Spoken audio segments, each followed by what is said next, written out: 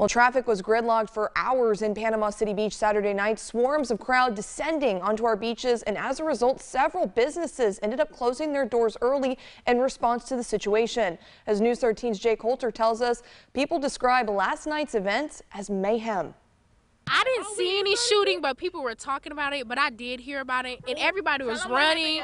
We were getting ran over by people. They were pushing us. I came on my sandals because when we see a whole group of people running, we're gonna run. We're not gonna sit there. Like, yeah.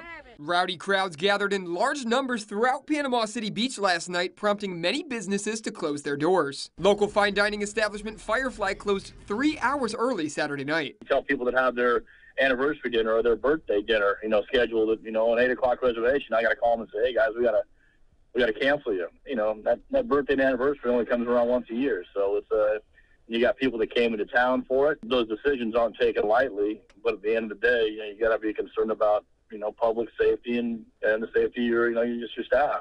The manager of the Pink Pelican ice cream bar says they had hardly any business Saturday night because of the crowds. Last night uh, there was just mayhem. There was people all over the sidewalks, uh, enough to where people couldn't uh, freely walk through the sidewalk. Some were concerned when word spread that Walmart and Waffle House had closed early. When you got Walmarts and Waffle Houses, and see when you have, you know, things that don't ever shut down, shutting down, you know there's a problem like they went to Walmart, messing up Walmart. So that part is messed up. How they came down here and cause a ruckus because we just came to have fun, not to mess up what everybody had going on. Because people still live here, people still have lives at the end of the day. The Panama City Beach Police Department released a statement saying, quote, we are aware of the social media videos that are circulating and like you, we believe the behavior of the people in these videos is reprehensible. With that said, what you don't see in those videos is the response to those incidents and the efforts we took and are taking in an attempt to hold the criminals accountable. It's a shame if somebody came down here and noticed this was their first visit to Panama City Beach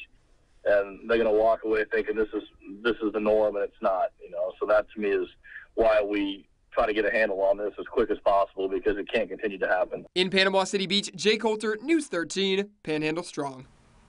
Now, Walmart told News 13 in a statement, quote, we are aware of what happened in our store Saturday and are disturbed by the actions of this group. The store did close a few hours later for reasons unrelated to the incident and will continue working closely with local police and must refer other questions to law enforcement.